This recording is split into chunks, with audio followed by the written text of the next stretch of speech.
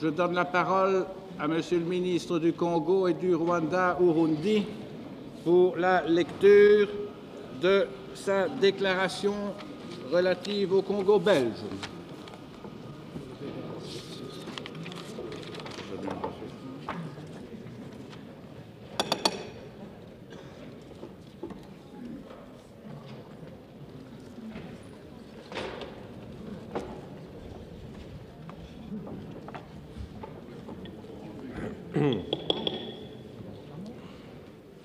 Monsieur le Président, Mesdames, Messieurs,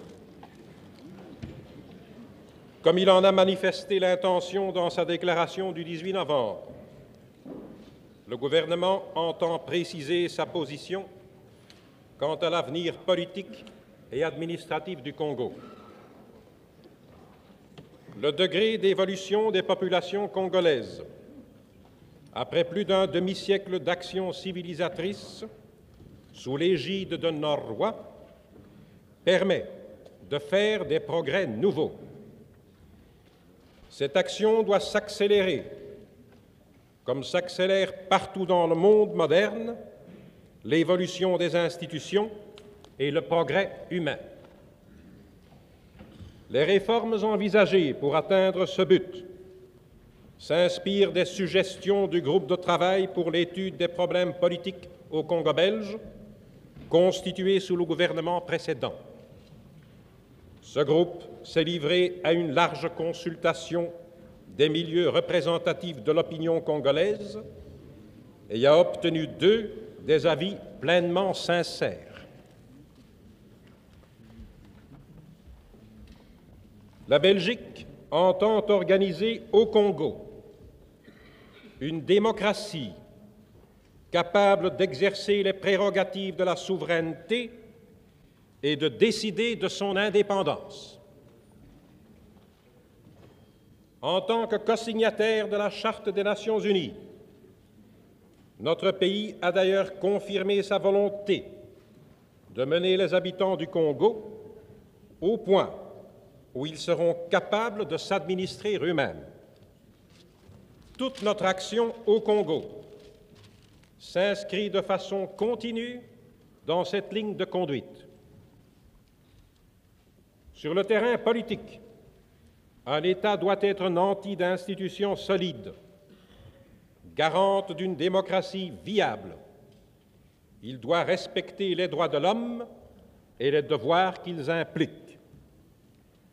Sur le terrain économique, la prospérité du pays n'est possible que grâce au travail de ses habitants et à un climat de confiance cette confiance est nécessaire pour s'assurer le concours des techniciens et l'apport des capitaux belges et étrangers dont le Congo continue à avoir un impérieux besoin. Sur le plan social, les travailleurs manuels ou intellectuels, rémunérés ou indépendants, doivent atteindre un niveau de vie décent, une économie en progrès en permettra l'élévation. La réalisation de l'objectif final sera poursuivie sans désemparer avec la collaboration de tous les habitants du Congo.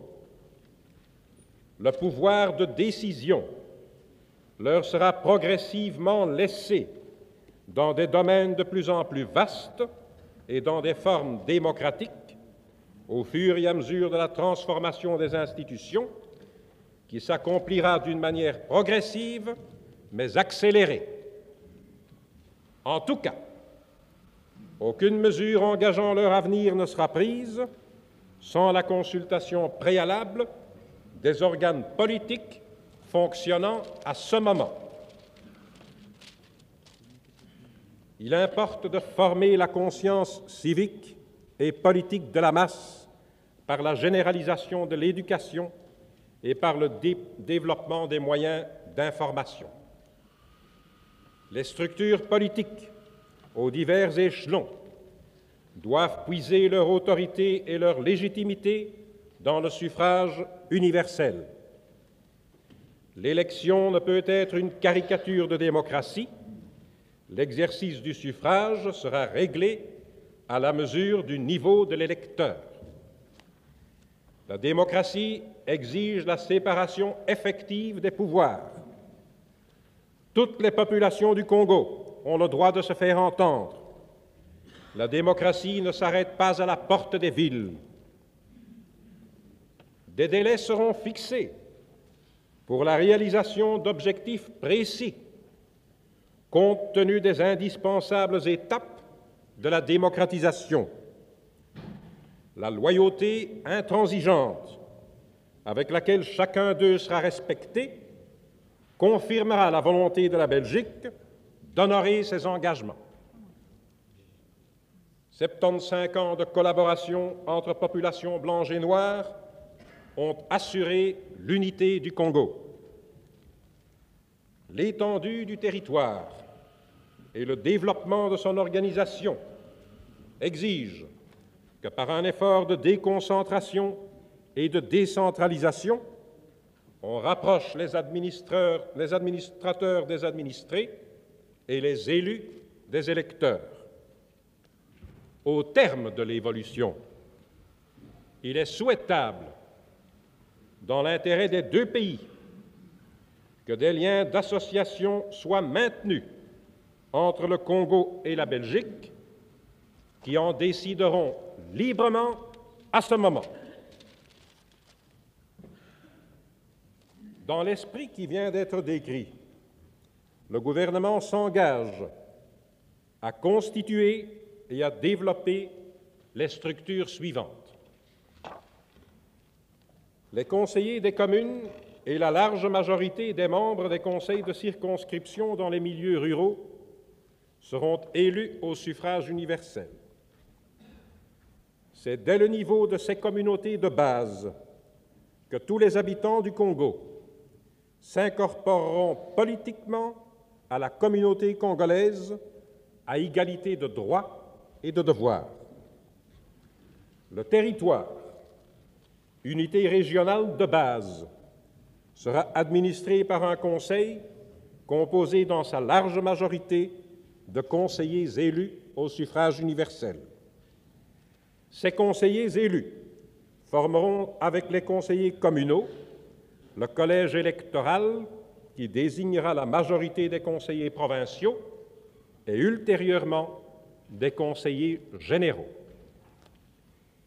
Les conseils des communes et des territoires seront élus fin 1959. Les nouveaux conseils des provinces seront constitués pour la session de mars 1960. Ces délais sont indispensables à la consultation préalable des assemblées consultatives et à la préparation des élections.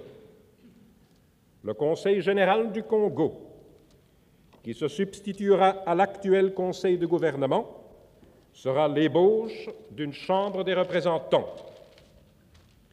Parallèlement au Conseil général, il sera créé un conseil de législation et bauche d'un Sénat. Il sera composé de membres élus, notamment par les conseils de province, et de membres nommés comme ceux de l'actuel conseil colonial dont il prendra la place. Dès mars 1959, chacun des conseils de province désignera deux conseillers pour siéger au Conseil de législation. Le Conseil général et le Conseil de législation posséderont conjointement la part de compétences législatives et de décision que la loi leur reconnaîtra progressivement. Au cours du développement administratif et politique du Congo, l'autorité exécutive à chaque échelon sera assistée par un collège restreint émanation du Conseil compétent à ce degré. En attendant l'élaboration de leur statut définitif, des collèges consultatifs seront immédiatement constitués auprès du gouverneur général et des gouverneurs de province. Les diverses libertés dont jouissent les Belges devront être aussi au Congo garanties par la loi fondamentale et leur exercice réglé. toute trace de discrimination raciale disparaîtra de la pratique comme des textes. Le statut unique permettant aux Congolais l'accession à tous les grades de l'administration vient d'être signé par le roi. Il est entré en vigueur le 1er janvier de cette année. La réforme judiciaire sera déjà partiellement réalisée, sera poursuivie. La législation du travail sera améliorée et complétée. Entre-temps, les bases de calcul de la rémunération minimum légale seront revues. La revision du régime foncier sera poursuivie d'urgence. Le gouvernement considère le développement et l'amélioration de l'enseignement sous toutes ses formes comme un des éléments essentiels de l'émancipation du Congo. Aucun effort ne sera négligé dans ce domaine. L'exécution des réformes envisagées devra être entreprise par le personnel actuellement sur place. Le dévouement total avec lequel il a accompli sa mission jusqu'à présent le conduira à servir avec enthousiasme la nouvelle politique. Le gouvernement lui donne des garanties les plus formelles quant, à son avenir dans le cadre du statut qui le lie. La déconcentration et la décentralisation des pouvoirs et des services de la Belgique vers le Congo doivent se poursuivre. La présente déclaration ne concerne pas le Rwanda-Urundi en raison du statut particulier qui le régit. Au moment où ces territoires sont arrivés, eux aussi, à un tournant important de leur évolution, et que le rythme de l'adaptation de la société traditionnelle aux formes démocratiques modernes s'accélère, le gouvernement déclare que, conformément aux vœux du Conseil de tutelle des Nations unies, un nombre croissant de réformes adaptées à ces régions y sera proposé. En énonçant les principaux points de la doctrine qu'il entend mettre en œuvre, le gouvernement réaffirme que le but primordial poursuivi par notre pays est le bien-être des populations congolaises. Ce bien-être dépend essentiellement du développement de l'économie sous toutes ses formes la prospérité économique ne se conçoit que dans un climat d'ordre, de confiance et de travail. Le gouvernement mettra tout en œuvre pour que ce climat ne soit pas troublé.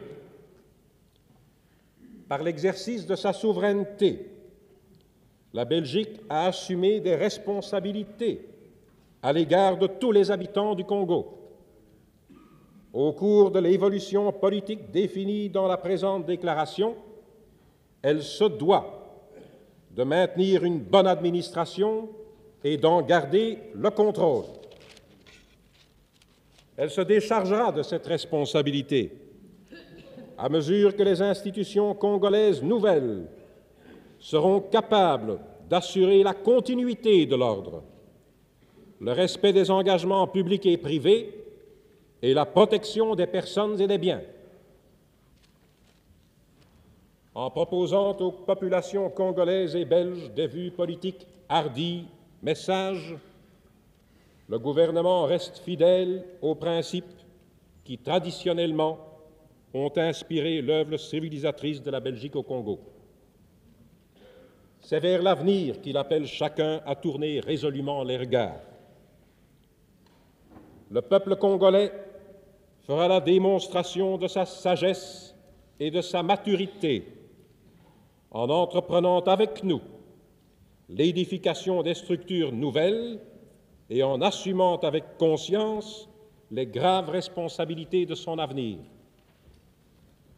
Tous ceux qui, dans l'administration territoriale et les autres organes de l'État, dans les missions et les églises, dans les entreprises, grandes et petites, ont accompli jusqu'à présent leurs tâches avec tant de zèle et de compétence, puiseront, dans la grandeur des perspectives ainsi précisées, les ressources d'intelligence et de cœur qui raviveront leur dévouement au service du Congo et de la Belgique. La Belgique prend vis-à-vis des populations congolaises un engagement solennel. Ainsi doit se renforcer l'esprit de fraternité et de collaboration confiante qui permettra à deux peuples d'associer en toute liberté leur destin et de s'appuyer l'un sur l'autre dans l'accomplissement de leur vocation propre.